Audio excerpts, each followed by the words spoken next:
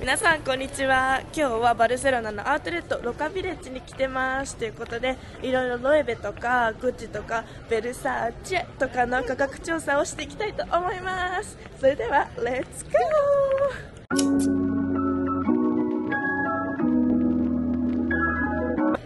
アウトレット内はこんな感じで結構広めです。バーバリーがありました。ここに素敵な建物。雰囲気もすごい可愛い感じです。まずはやっぱりロエベということでロエベに行きます。ああるじゃん。かわい。いすごいかわいいバッグ発見。なんとですねこのバッグはですね2000ユーロが1200ユーロです。この形のバッグとってもかわいい。この夏の涼しげなバッグがですねなんとですね1800ユーロが1080ユーロになってます。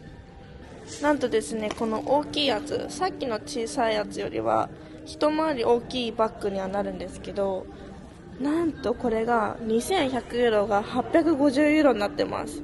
激安。ロエベのバケハ黄土色とオレンジ色黄色みたいな色のバッグ。バケハがあります。これはいくらでしょうか？490ユーロが245ユーロ。形ちゃんとしててめっちゃ可愛い。この涼しげなサンダルロエベのサンダルとっても可愛いです。これがなんと980ユーロが490ユーロになってる。いろんな色のものもあります。紺色もある。やっぱ私は茶色が可愛いね。とっても可愛いです。見てこの形のねサンダルここにロエベって書いてあるんだけどこの白のサンダルがねなんと390ユーロが195ユーロ195ユーロでロエベのサンダル買えるって結構お得ですね。こっちの色のサンダルもあるんですけどこれはさっきのやつとちょっとデザインが違くてラメが入ってる感じなんですけどこれは790が320ユーロになってる。このビビットピンクとか黄緑とかあとグレーのサンダルもあります。とっても可愛いです。これはスモールのハンモックらしいです。一番小さいやつ、うん、2, 番目。の小さいスモールのサイズらしいです。えー、かわいいねこの形。へ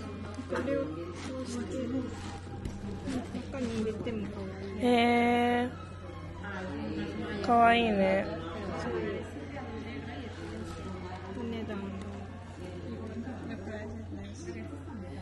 値段は2350が1350です。かなり安い日本とか見て、おおからタックスフリーイエーイ。かわいいね。はいということでですね今編集が終わったんですけどムービーの動画しか撮れなかったので34分の動画で終わってしまいました。誠にすいません。